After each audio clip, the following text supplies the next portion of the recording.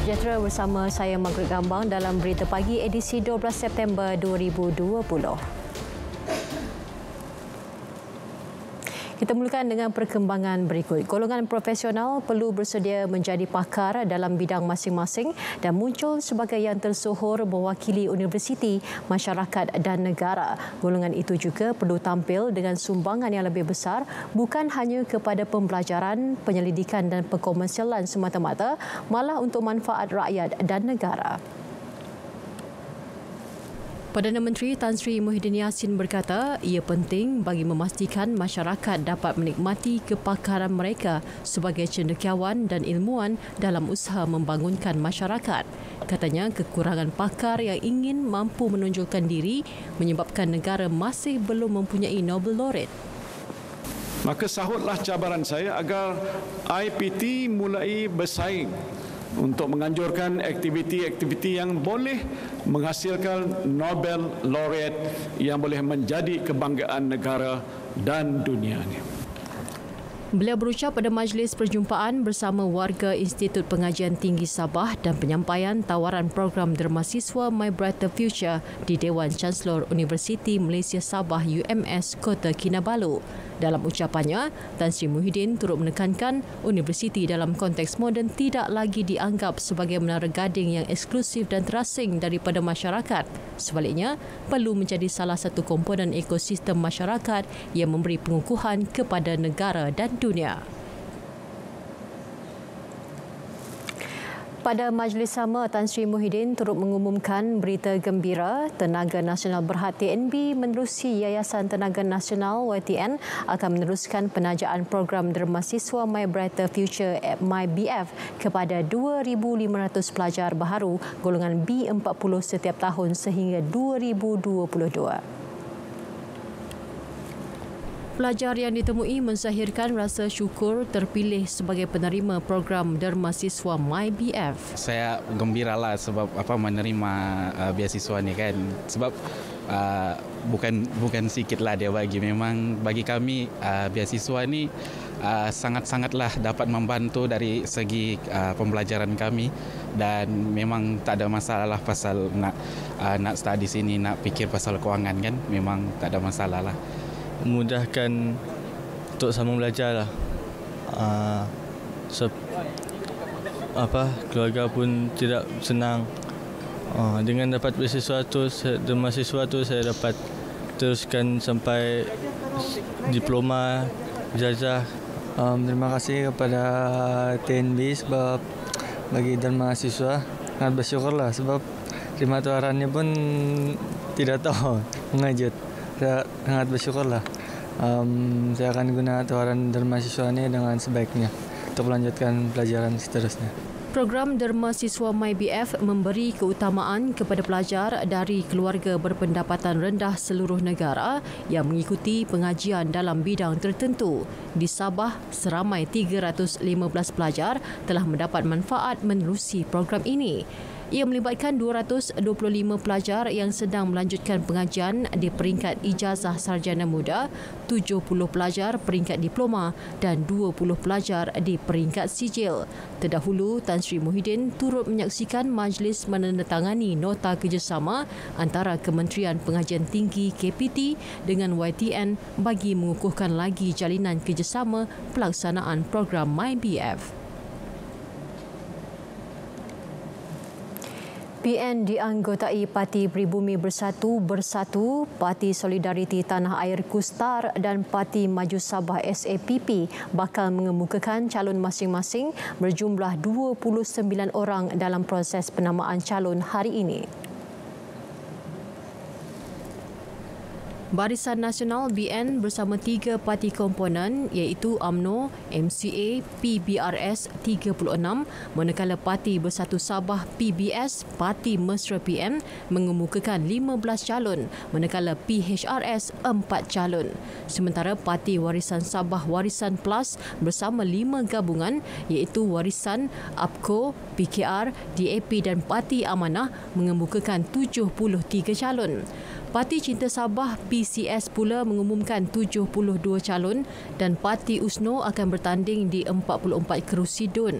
Bersatu dipimpin Ketua Badan Pimpinan Bersatu Sabah, Datuk Seri Haji Jinur akan mempertahankan kerusi DUN Sulaman yang ditandinginya pada PRU lepas. Timbalannya Datuk Seri Panglima Masidi Manjun juga turut mempertahankan kerusi Karanan. Ketua Badan Perhubungan AMNO, Datuk Seri Bung Mokhtar Radin bertanding di kerusi Dun Lamak, kerusi baharu dalam Parlimen Kinabatangan. Timbalannya Datuk Yakubah Khan pula bertanding di Dun Karambunai. Sementara itu, timbalan Presiden PBS, Datuk Seri Panglima Radin Maleh bertanding semula di Dun Melalap dan bakal ditentang naib Presiden Warisan, Datuk Peter Anthony, penyandang kerusi berkenaan. Seorang lagi naib Presiden PBS, Datuk Dr. Yi Moh Chai pula akan bertanding bagi Dun Api-Api yang turut ditandingi pengerusi PKR sebagai penyandang Datuk Christina Liu. Ketua Penerangan PBS, Datuk Joniston Bangkuai pula mempertahankan kerusi Kiulu dan akan ditentang Presiden APCO, Datuk Seri Panglima Madius Tangau. Sementara itu, Presiden Warisan Datuk Seri Panglima Muhammad Syafiee Abdal terus mempertahankan kerusi Dun Senalang yang dimenanginya pada PRU lepas. Begitu juga naib presidennya Datuk Jaujan Sambakong turut mempertahan kerusi Dun Sulabayan.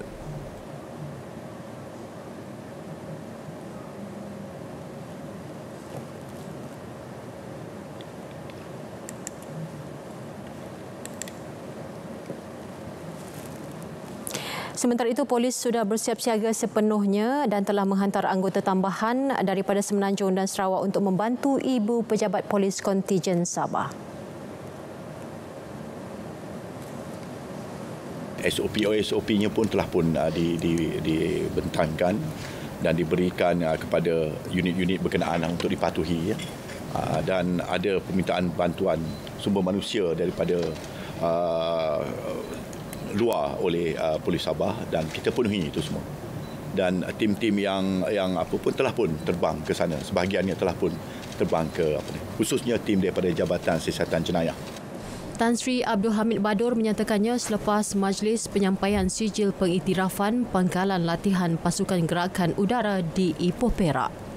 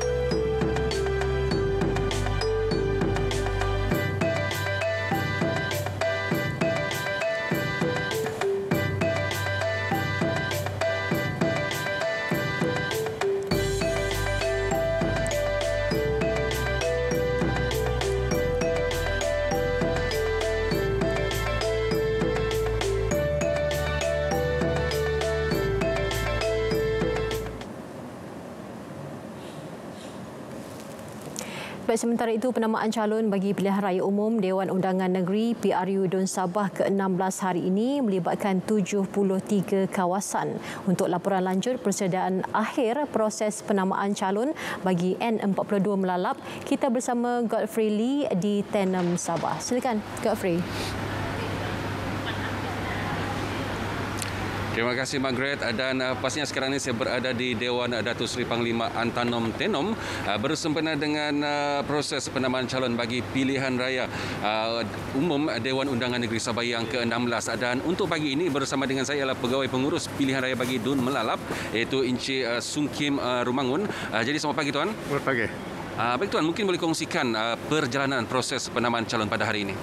Ya, saya selaku uh, pengurus uh, pilihan raya DUN in 42 Melalap ber, berpuas hatilah perjalanan persediaan kami untuk uh, uh, penamaan calon pada pagi ini di mana penambahan calon kita akan buka mulai daripada jam 9 hingga jam 10. Uh, selepas itu kita tidak akan layan. Jadi uh, kita minta semua adalah bakal-bakal calon ini memastikan mereka hadir di apa ini penambahan calon ini bersama dengan satu pencadang dan penyokong uh, supaya uh, semua apa ini uh, proses uh, penambahan calon ini berjalan dengan lancar. Uh, dan uh, tuan uh, macam mana dengan pematuhan SOP uh, sepanjang proses penambahan calon ini? Oh iya, seperti yang uh, kita maklum sekarang ini kita kena patuh apa ini SOP daripada Kementerian uh, Kesihatan Malaysia iaitu setiap uh, calon dan pencadang ini mestilah memakai uh, mask ataupun pelitup muka dan mereka ini akan disaring di kaunter yang dihaskan untuk memastikan mereka ini bebas daripada gejala COVID. Dan uh, uh, so, apa ini uh, seperti tahun-tahun lalu kita apa ini ada uh, apa ini diiringi oleh penyokong. Setiap calon akan diiringi oleh penyokong itu tetapi pada kali ini kita tidak benarkan seperti SOP yang telah diberikan oleh pihak Kementerian Kesehatan Malaysia dan uh, pastinya juga mungkin uh, apa ni uh, calon akan uh, diperiksa di kaunter uh, dan uh, untuk kawasan uh, dewan ini macam mana pula? Ya, sebenarnya Dewan ini pun telah sebelum uh, sehari sebelum kita telah uh, bersihkan dengan disinfeksi. Uh, selepas itu telah di uh, flushing oleh pihak keselamatan untuk memastikan bahawa satunya Dewan ini bersih dan keduanya selamat. Jadi uh, saya selaku pegawai pengurus uh, ucap terima kasihlah kepada semua yang terlibat dan saya yakin perjalanan uh, proses penambahan calon pada pagi ini akan berjalan dengan lancar dan selamat. Sekali terima kasih Encik Sungkim dan demikian tadi kita bersama dengan pegawai pengurus pilihan raya bagi Dun Melalap itu Encik Sungkim Rumangun. Uh, dan pastinya proses penambahan calon akan berlangsung pada hari ini untuk serentak seluruh negeri Sabah. Dan bersempena dengan pilihan raya umum Dewan Undangan Negeri Sabah yang ke-16 itu dapat kami kongsikan kepada anda semua dari Tenom untuk pagi ini kembali ke studio. Silakan Baik, terima kasih Godfrey untuk perkembangan dari Tenem Sabah. Kita ke perkembangan seterusnya. Selaras dengan perintah kawalan pergerakan diperketatkan PKPD pentadbiran di 28 mukim di daerah Kota Star, Kedah selama 14 hari bermula 11 September sehingga 25 September ini. Jabatan Laut Malaysia menerusi kenyataan media memaklumkan perkhidmatan feri penumpang dari jeti penumpang Kuala Kedah ke terminal penumpang Kuah Langkawi serta sebaliknya telah dihentikan operasi sepanjang PKPD ini berkuat kuasa. Sehubungan itu, para penumpang feri yang ingin ke terminal penumpang Kuah Langkawi hendaklah menggunakan perkhidmatan feri dari terminal feri Kuala Perlis. Jabatan itu turut menjangkakan akan berlaku pertambahan mendadak pengguna di terminal feri Kuala Perlis dalam tempoh dua minggu ini. Justru bagi mengelak sebarang kesulitan, penumpang dinasihatkan merujuk terlebih dahulu jadual pergerakan feri melalui pautan time.langkawiferryline.com. Sebarang pertanyaan boleh terus menghubungi pegawai bertugas di Pejabat Laut Kuala Perlis Khairul Azhar di talian 04 985 4160 atau 019 589 6881 atau mana-mana operator feri yang berkenaan. Lagi 312 individu ditahan pada hari ke-93 pelaksanaan Perintah Kawalan Pergerakan Pemulihan PKPP. Dalam satu kenyataan, Menteri Kanan Keselamatan Datuk Seri Ismail Sabri Yaakob menjelaskan kesalahan tertinggi ialah aktiviti melibatkan kehadiran orang ramai yang menyukarkan penjarakan fizikal sebanyak 143 kes. Ia diikuti aktiviti di dalam pub atau kelab malam 70 kes. Kesalahan lain seperti gagal menyediakan peralatan atau catatan keluar masuk 37 kes, tidak memakai pelitup muka 23, warga asing tanpa dokumen perjalanan 7, premis beroperasi melebihi tempoh 1 dan disyaki menjalankan aktiviti pelacuran 31 kes.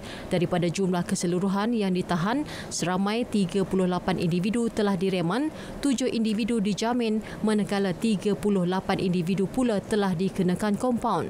Menerusi operasi benteng pula, 86 parti, satu penyeludup dan satu tekong telah ditangkap. tindakan tegas akan dikenakan terhadap mana-mana pihak yang cuba memasuki sempadan negara secara haram. Agensi-agensi penguatkuasa akan terus mengetatkan kawalan kawasan sempadan terutamanya di lorong-lorong tikus bagi menyekat penularan wabak COVID-19.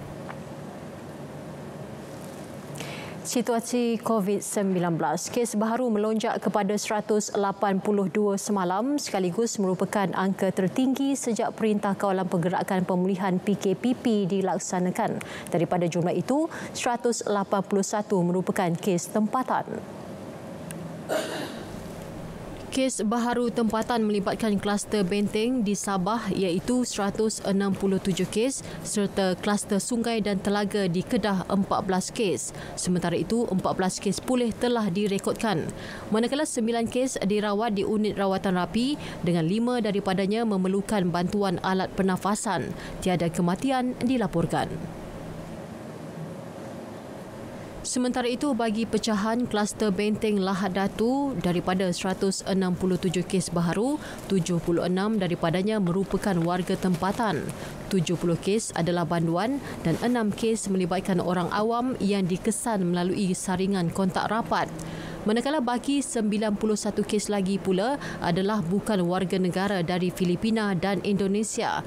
Bagi kluster sungai, terdapat 11 kes dan kluster telaga 3 kes. Setakat ini, KKM memaklumkan pelaksanaan Perintah Kawalan Pergerakan diperketatkan PKPD pentadbiran berjalan lancar dan masyarakat setempat memberi kerjasama yang baik.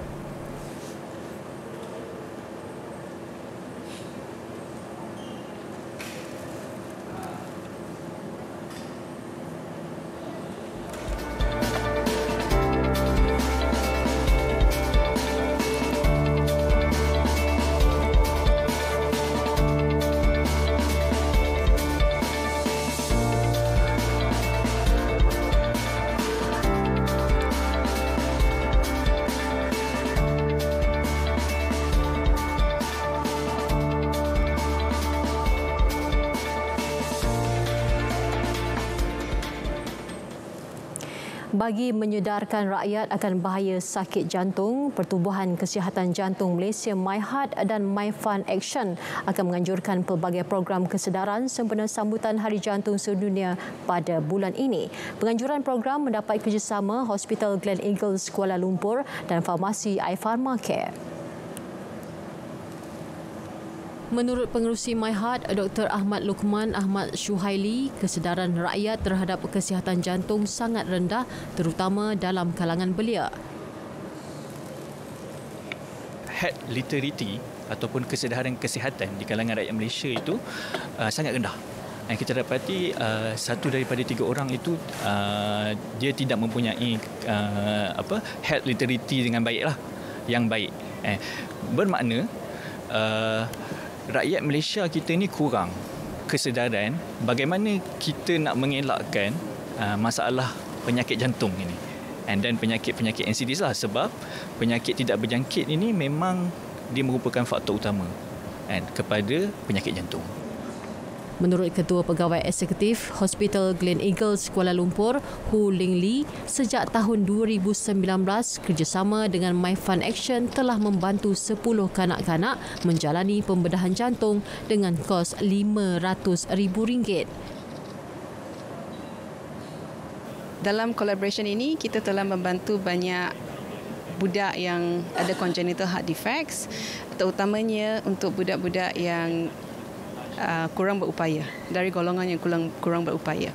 So kita kat Gleneagles Kuala Lumpur berasa amat bangga dapat bekerjasama dan collaborate dengan My Fun Action dan My Heart Association. Hu Ling Li dan Dr. Ahmad Lukman Ahmad Shuhaili ditemui pada majlis pelancaran sambutan Hari Jantung Sedunia di Ibu Negara. RTM memenangi empat anugerah hadiah kewartawanan Malaysia Malaysian Press Institute Petronas pada Malam Wartawan Malaysia 2020. Wartawan berita TV RTM Faris Izzat Syaharudin dinobatkan sebagai pemenang bersama bagi kategori Wartawan Muda A. Samad Ismail manakala Sagu Hati bagi berita video terbaik. Malah apa yang membanggakan, anugerah itu dimenangi oleh Faris selepas penyampai TV Syahril Sarapudin pada Malam Wartawan Malaysia 2016 kita. Apa yang kita perlukan adalah passion. Passion untuk kita hasilkan laporan dia bukan untuk uh, kepuasan diri kita sendiri, tapi apa yang penting adalah untuk kita uh, bagi uh, impak laporan tu impaknya kepada masyarakat. Beliau membawa pulang wang tunai RM6,000 berserta trofi dan sijil. Dalam pada itu, Ketua Bahagian Rancangan Nasional FM, Siti Safura Drao, memenangi kategori laporan radio terbaik membawa pulang wang tunai RM10,000, trofi dan sijil. Uh, jadi sebenarnya ni satu-satunya laporan yang saya buat untuk tahun 2019. Uh, ah, Alhamdulillah, memang rezekilah untuk saya. Jadi ini pengiktirafan ini membuktikan bahawa RTM ini uh, media yang uh, maklumat sahih jenama dipercayai. Dan saya yakin uh, dengan pencapaian mereka berdua ini akan lebih banyak lagi lahir wartawan-wartawan penyiaran yang uh, maju, yang bersaing, yang terbaik di Malaysia. Juruhebah Nasional FM Nurul Asyah Bidin turut memenangi sagu hati bagi kategori laporan radio terbaik dengan membawa pulang RM1,000 trofi dan sijil. Kekalkan perpaduan dan saling hormat menghormati. Itulah sikap dan amalan yang perlu terus dipupuk Malaysia berbilang kaum dan agama. Dalam tinjauan di Ibu Negara, warga kota menzahirkan harapan untuk melihat Malaysia terus maju dengan rakyatnya hidup bersatu padu dalam suasana harmoni. Menjelang sambutan Hari Malaysia lebih-lebih lagi ketika negara berdepan COVID-19, semangat bersatu padu dan saling hormat menghormati akan menjadi simbol kekuatan rakyat Malaysia. Pendapat itu disuarakan warga pendidik SJKT Vivekananda Brickfields. Itulah, itulah yang keistimewaan negara Malaysia. Pasal walaupun ada masyarakat uh, minoriti dan juga majoriti, kesemua mereka mempunyai peluang yang sama rata dalam pelbagai bidang dan juga uh, agama lain dihormati. Kebudayaan mereka dihormati di uh, perayaan mereka disambut bersama. Kita perlu mengekalkan perpaduan. Kita, uh, kita juga perlu menjiwai uh, pengorbanan dan uh, uh, jasa tokoh kemerdekaan kita. Uh, selain itu kita perlu menitik beratkan kepentingan setiap individu untuk uh, meningkatkan uh, imej negara kita. Uh, saya juga tidak lupakan uh, kawan-kawan yang berada di Sabah dan Sarawak walaupun jauh jaraknya kita tetap anak Malaysia mewujudkan ataupun melahirkan satu generasi yang akan mengekalkan perpaduan ini dan menjadikan perpaduan ini satu uh, keistimewaan negara ini. Reaksi yang sama turut diberi oleh warga kota yang lain. Mereka mengakui saling menghormati adalah kunci perpaduan. Kena respect orang lah. Ha, tak kira agama Kristian ke, India ke, Cina ke, Kadazan Dusun ke, apa ke, Iban ke. Kena respect orang. Walaupun kita, negara kita ni majoriti orang Melayu. Kita sebagai rakyat Malaysia perlu apa cakap menghormati lah uh, bangsa yang lain-lain ada resam masing-masing kena memahami kena lebih mengetahui. Tak tahu kena tanya kan? Untuk kita kata hidup sama-sama dengan lebih harmoni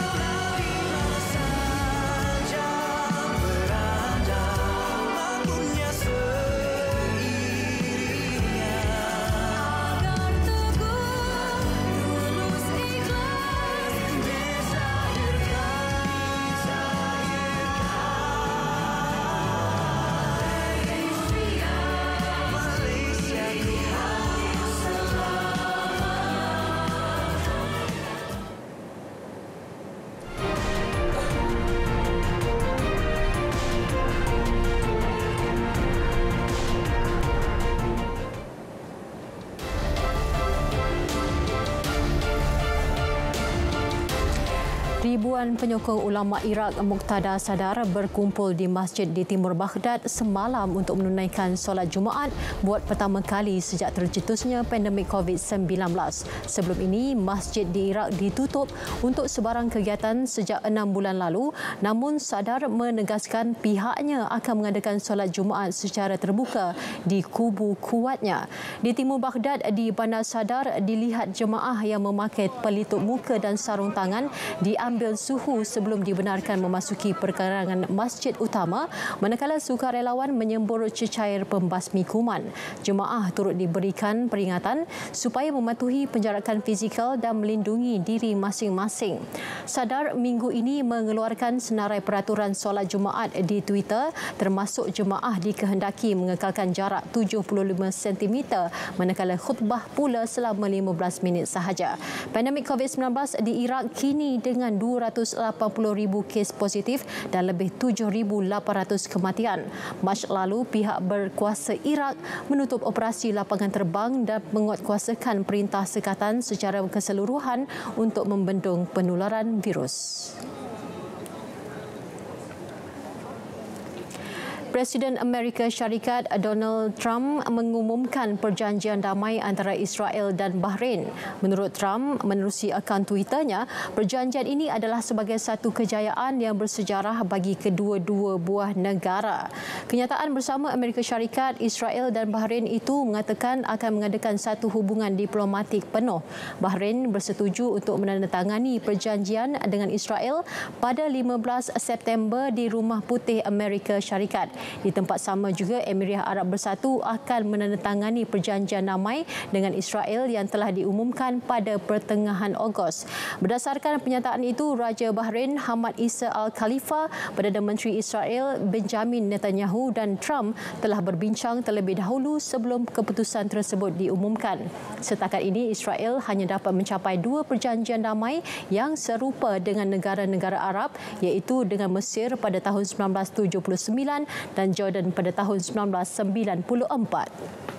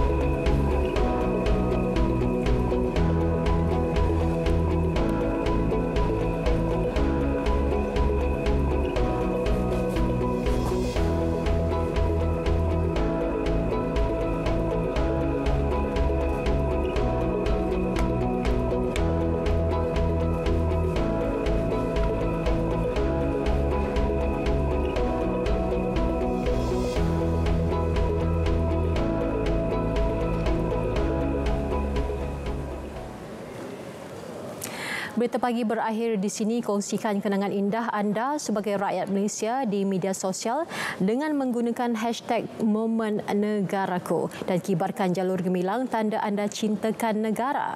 Dan juga jangan lupa untuk terus patuh SOP PKPP bagi mencegah penularan COVID-19. Saya Margaret Gambang, salam hormat dan jumpa lagi.